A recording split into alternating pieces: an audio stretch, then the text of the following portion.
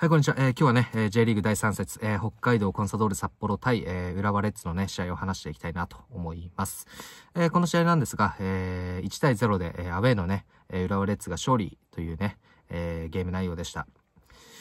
はい、あの、浦和レッズね、えー、3節にして、まあ、ようやくね、まあ、レッズだったらね、もっとあの、開幕スタートダッシュね、狙えたと思うので、まあまあ、まずまずあの3節でようやく落ち着いたのかなという印象を持っております。はい、まあ対するね、あのコンサドール札幌ね、あの、ちょっとね、厳しいというかね、まあチーム状況を見ても試合内容を見てもね、あの、まだまだトンネルがちょっと長そうだなということを、えー、まずはね、感じてしまいました。まあ、早速なんですがね、あの、浦和の方からちょっと話していきたいと思います。浦和ね、あの、好調な選手がだんだん増えてきたなという印象を持っております。えー、まずね、グスタフソン選手ですか。いや、この選手ね、あのー、まあ、前評判通り、あのー、まあね、注目して見ていたんですが、もうほんと評判通りの、もう僕の中では正直評判以上、あの、あ、こんだけできるんだというか、もうちょっとレベル違くないかっていうぐらいね、あの、グスタフソンはね、えー、よくできてる選手ですし、あのもうほんと期待大というか、ほんとね、なんかあの、海外サッカーをね、えー、見ているような感じで、あの、この選手はね、楽しめますね。もっとね、あのゴール前だったりだったりだとか、あのまあ、なんだろうな、あの、ワールドクラスのね、えー、プレーっていうのをね、えー、ちょっと期待して、えー、見たいと思います。はい。で、あとね、あのー、渡辺龍馬選手ですか。この選手ね、あのー、サッカー IQ 高いので、この選手がもっとね、あのー、自由に動き回って、あのプレイし始めると、浦和はね、えー、より、あのビルドアップの部分だったりだとか、その崩しの部分でね、え、もっともっと良くなってくるんではないでしょうか。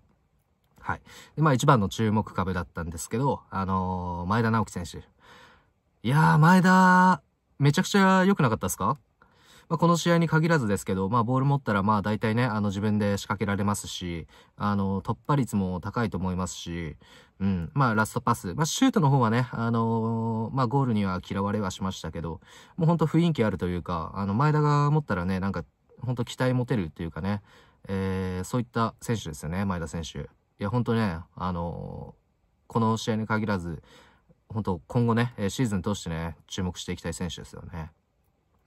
はい。で、まあ、コオロキ選手だったりだとか、サンタナ、えー、レッツのね、えー、まあ、スリートップ気味っていうかね、まあ、スリートップのあの、ど真ん中にね、構える選手。まあ、サンタナ、コオロキとね、前田がうまく、あの、絡んできたら、もう本当にね、あの、手がつけられないぐらいのね、えー、コンスタントに、えー、毎試合得点できそうですよね。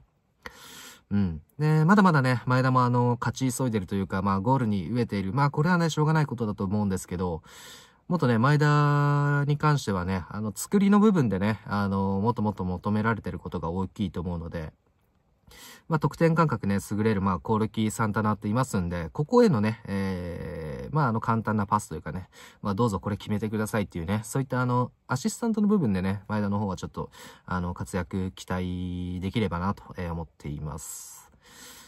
まあ、レッツに関してはね、あのー、まあ、内容、まあ、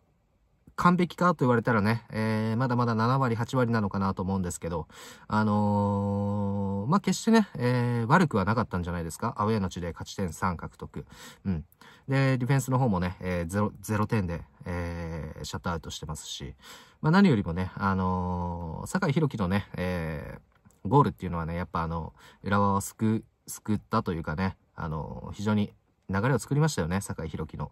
まあ、あの、ヘディングのね、あの豪快さというかね、えー、良かったですよね。ちょっとアレンジされたあのコーナーキックからの流れの中の得点だったんですけど、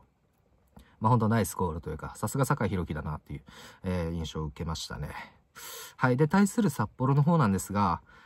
うーんっていうね、えー、おいおいどうしたっていうね、えー、まあ札幌らしさというか、まあ札幌のらしさって言ったらね、やっぱ攻撃力、あの、破壊力だと思うんですけど、あ、まあ、ディフェンスラインの方はね、えー、前々から課題が、えー、山積みでしたが、まあ、ここもね、なかなかあの修正できずというかね、なんかずるずると、えー、まあ、時が過ぎ、そして、まあ、試合を迎え、なかなかね、あのー、まあ、主力選手ね、えー、だいぶ抜けてますから、その穴埋めがね、えー、まだまだうまくいってない状況なんだなということをね、えー、ちょっとね、目に、あの、目にしてしまいましたよね。まあ、特にね、あの札幌がね、えー、好調だった時に支えた選手が、えー、金子、ルーカス・ペルナンデス、田中俊太だったりね、いやもう非常にね、あのー、なかなかね、替えが効かないというかね、もう個人で、あのー、突破もいけるし、戦術理解度も高いし、あのー、まあ、小頭もそうですけど、ここのね、主力流出っていうのはね、いやー、ちょっと、今ね、今本当に響いてると思います。うん。まあ、新戦力もね、えー、まあ、唯一注目株というか、えー、良かったんじゃないかという選手は、まあ、田中克之ですね。田中克之選手ね、あの、まあ、帝京長岡上がりということでね、足元の技術だったりだとかね、あの、まあ、札幌のサッカーに合わせられる、まあ、どこのね、チーム行っても、あのー、合わせられる能力というかね、非常に能力高い選手ですからね。まあ、この田中選手ね、あのー、もともと J1 にね、えー、J1 の強度に、えー、アジャストしていけるようにね、えー、ちょっとね、えー、まあ結果出なくても、えー、長くね、えー、ちょっと成長、成長のね、過程として使ってってほしいですよね。はい。いやー、札幌ね、札幌ね、あのー、まあ、荒野選手だったりね、あの、馬場選手だったりだとか、まあ、岡村選手もそうですけど、まあ、タレントはいるんですけどね、あのー、輝いてないというか、なんかね、そのチームの方針もそうですし、まあ、前線のところでのあの、攻撃の部分、手こずってるっていうね、えー、感じが、かなりね、しますね。うん。まあこれね、もうほ本当ミシャに期待するしかないというかね、えー、まあどうやって改善していくんだろう、どうやって立ち直していくんだろうっていうのがね、えー、非常にね、興味深いですがね、いやもう早くね、早くあのー、強い札幌を取り戻してほしいですよね。うーん、まあちょっとね、まあ札幌にとってはね、本当に今きつい。本当にきついと思います。うん、まあリーグ戦はね、えー、週に1回というかね、えー、まあサイクル変わりませんし、本当にね、あのー、ま、ま、まずは焦らないことですよ。まあ、ちゃんとしたね、えー、いい選手、ね、あの、残ってますんで、もう一度ね、えー、しっかり基盤作りして、えー、早くね、立ち直ってほしいですよね、札幌。はい。で、まあ、個人的にね、思ったのは、あのー、まあ、1対1の部分でね、ちょっと軽さだったりもね、あのー、もうほんと流れが悪いなというか、あのーちょっとね、各場面場面でね、そういったプレーを、あの、目にしてしまいましたよね、札幌の方は。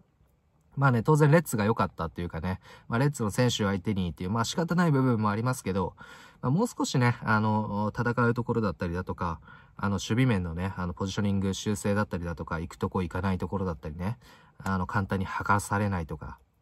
まあそういったね、えー、単純作業のところでね、えー、もう全然サッカーって変わってくると思うので、ここはね、えー、早く改善できるポイントだと思うので、もうほんと、まずね、失点しないサッカーっていうのをね、ちょっとあのー、札幌の方にはね、えー、求めていきたいなと、えー、思っております。はい。で、あとね、あの、スタジアムに関してなんですけど、芝がね、あの、まあ、札幌ドーム、まあ、札幌ね、えー、めちゃめちゃ寒いところではありますけど、まあ、こんなに、あの、荒れているんだというね、印象を受けましたね。まあ、札幌にとってはね、えー、まあ2回に1回ホーム、あの、まあ札幌あるわけじゃないですか。まあその時にね、札幌ってあのまあ、あの、攻撃的なチームであると思うので、まあ、ボールポゼッションもね、ある程度するチームですし、これがね、あの、堅守速攻だとか、あのー、まあ、相手をね、あのー、相手がボール握るね、えー、動かすチームだったら、あのまあ、いい方に働くというか、あの、パス回ししづらい方向でね、あの、相手を迎えるだったりね、その優位なね、体勢で迎えられればいいですけど、札幌もね、あの、ある程度ボールポゼッション、あの、大切にしてるチームですし、やっぱりね、攻撃が売りのチームなので、芝ね、えー、ホームグラウンドの芝が悪いっていうのはね、ちょっとあのー、早く直していただきたいというかね、まあ、その芝の成長次第というかね、えー、まあ管理の部分になってしまうと思うんですが、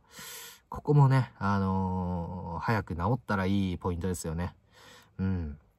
ちょっとね、枯れた芝をね、見ているようで、あのー、まあ、僕、テレビ観戦なんですけど、ちょっと寂しいなっていうね、イメージもあったのでね、あのー、早くね、芝成長してもらって、あの綺麗なね、まあ、緑の、あのそして平らなね、えー、ほんとサッカーに適したね、えー、グラウンドで、あのやってほしいなと思っています。